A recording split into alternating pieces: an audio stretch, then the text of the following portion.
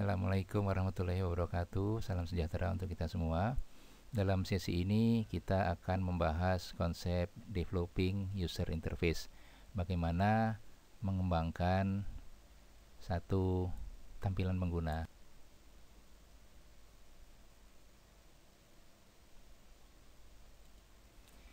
Desain user interface yang baik adalah sebagian dari faktor yang mendukung suksesnya suatu program atau aplikasi.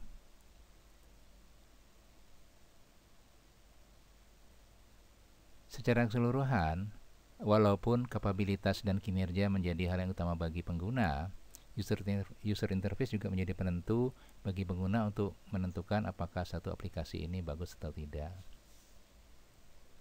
Kita tidak bisa berharap pengguna menyukai aplikasi jika mereka menganggap user interface yang dibuat tidaklah bagus atau sangatlah jelek. Semestinya karena tujuan dari satu program adalah menghasilkan satu aplikasi yang bagus, para developer mempelajari bagaimana mendesain satu user interface yang bagus. Tetapi sayangnya hal ini tidak menjadi concern bagi sebagian besar developer sistem. Ada beberapa alasan yang mendasari. Yang pertama, bagi sebagian orang, proses pengembangan software lebih menekankan bagaimana supaya software bisa selesai tepat waktu dengan kualitas yang baik.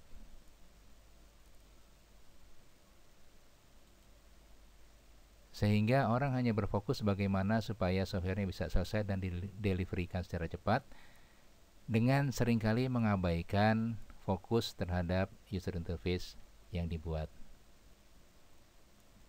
Yang kedua, programmer sering menganggap bahwa mereka tidak berkaitan langsung dengan pengembangan user interface.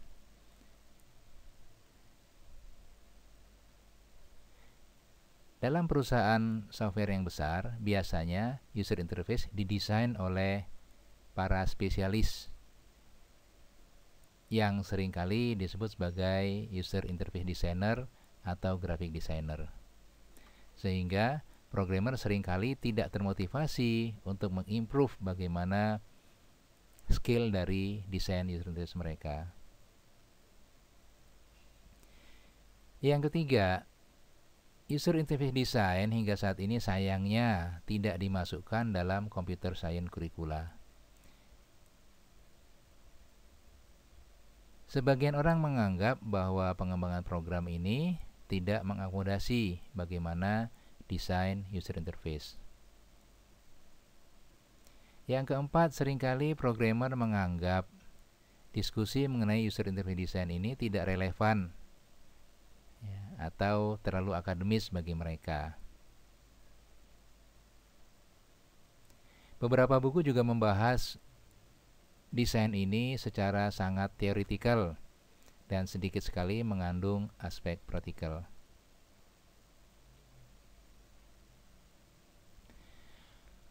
Walaupun menyadari bahwa user interface ini adalah bagian dari aplikasi, Seringkali programmer tidak concern terhadap aplikasi yang dia buat. Mereka lebih concern terhadap aplikasi yang dibuat oleh orang lain. Dalam pengembangan user interface ada beberapa standar yang harus dipenuhi, tetapi ada saatnya kita bisa melanggar standar tersebut atau tidak mengikuti standar. Beberapa hal tersebut di bawah ini adalah keadaan di mana memungkinkan kita untuk melanggar standar tersebut. Yang pertama, kita mencoba membuat satu state of the art dari user interface design yang kita yakin ya, bahwa desain ini akan berjalan dengan baik. Dalam hal seperti ini, kita mesti yakin bahwa kita memiliki waktu dan biaya yang cukup untuk melakukan user testing. Yang kedua, kita sedang mencoba membuat satu program baru yang radikal, yang sangat berbeda dengan program yang ada saat ini. Yang ketiga, kita sedang mengembangkan aplikasi yang memiliki extraordinary requirement, jadi punya kebutuhan yang sangat berbeda dari aplikasi standar. Yang keempat, kita sedang mencoba membuat satu program game atau multimedia yang didesain utamanya untuk entertain. Dan kita menganggap kalau menggunakan standar yang ada akan sangat membosankan bagi pengguna. Yang kelima, kita memiliki tujuan lain ya another goal ya yang lebih penting dibandingkan menggunakan standar.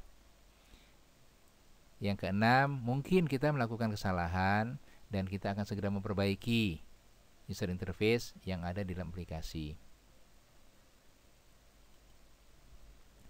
Ada beberapa alasan yang jelek pada saat kita melanggar standar. Yang pertama, kita tidak tahu bagaimana standar yang semestinya. Yang kedua, kita menganggap ada baiknya menggunakan standar kita sendiri. Yang ketiga, kita bisa mengkonfirmasikan bahwa standar yang ada terlalu bermasalah jika digunakan dalam aplikasi yang kita buat. Yang keempat, karena kita mendapatkan satu activate control yang sangat bagus di internet, ya, walaupun kita tidak paham bagaimana penggunaan semestinya. Dalam pengembangan user interface, kita harus menggunakan terminologi yang konsisten. Ada kalanya karena satu dan lain hal yang berkenaan dengan kebiasaan, terminologi ini menjadi tidak konsisten atau tidak standar. Dalam contoh misalnya seseorang diminta menunjukkan rumah Clint Eastwood yang ada di Carmel, California. Karena Carmel ini kota yang kecil dan tidak terlalu rumit, ya, orang bisa saja menunjukkan ya, uh, lurus sekian ratus meter, kemudian pada saat ada pohon mangga belok ke kiri, pagar hijau belok kanan, berhenti di depan pos security misalnya. Padahal semestinya kalau dengan terminologi konsisten kita bisa bicara rumahnya di gang 11 rumahnya di gang 11 nomor 7 warna putih misalnya. Ini akan lebih standar. Jadi dari mana pun orang tersebut menanyakan jawabannya akan tetap sama dalam desain konsistensi ini bisa diterapkan di dalam perintah-perintah yang mungkin tampil di dalam layar yang kita buat. Misalnya kita sudah menentukan button sebelah kiri atas adalah satu perintah untuk misalnya membuka suatu file yang baru. Sedangkan button sebelah kiri paling bawah adalah perintah untuk keluar. Button sebelah kanan paling bawah perintah untuk help atau about dan sebagainya. Ya, dengan cara ini kita bisa menerapkan konsistensi dalam desain tampilan itu sendiri. Pertanyaannya adalah kenapa terminologi ini menjadi penting? Ya, why terminologi is important? Kita akan mengalami kesulitan kalau mencoba mengkomunikasikan sesuatu yang tidak ada namanya. Jadi, dalam menjelaskan sesuatu harus ada identifikasinya, penjelasannya, dan utamanya adalah namanya. Misalnya, memberikan nama kepada variabel memberikan nama kepada objek atau bagian-bagian dari program. Sebaiknya ini menggunakan terminologi yang konsisten. Dalam praktek sering kali kita melihat bahkan di perusahaan besar pun mereka menggunakan terminologi yang tidak konsisten. Misalnya dalam program kita menjumpai terminologi oleh Object Linking Embedded ya, atau COM, Komponen Objek Model dan sering kali disebut juga sebagai aktif X yang sudah muncul hingga beberapa seri. Ketiga terminologi ini menjelaskan hal yang sama, tetapi dengan menggunakan term atau kata-kata yang berbeda.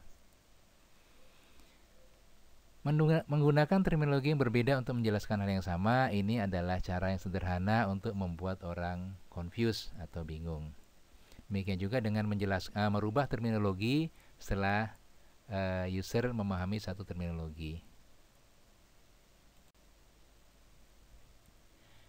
Apa yang perlu kita berikan nama pada saat mengembangkan interface? Ada beberapa hal. Pertama, nama program itu sendiri. Ya, pada saat mendesain program, kita perlu memberikan nama kepada program. Kemudian, tipe dokumen yang akan digunakan di dalam program. Kemudian, aktivitas utama yang dilakukan oleh program.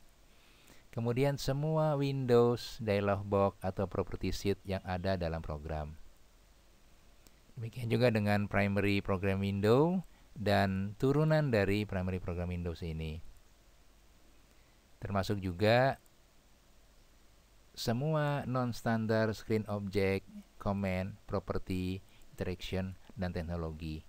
Jadi, ke semua ini harus memiliki nama dan nama ini semestinya standar supaya bisa diketahui atau dipahami dengan mudah.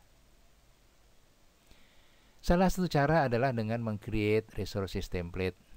Jadi kita bisa membuat satu template yang digunakan berulang-ulang setiap kali kita akan menciptakan atau mengcreate Windows baru turunan dari Windows yang sudah ada. Termasuk di antaranya kita eh, menentukan berapa lebar dari satu objek, berapa standarnya, berapa jarak antar objek, dan sebagainya. Contoh misalnya menggunakan pengelompokan sendiri untuk radio button atau checkbox. Contoh dalam penggunaan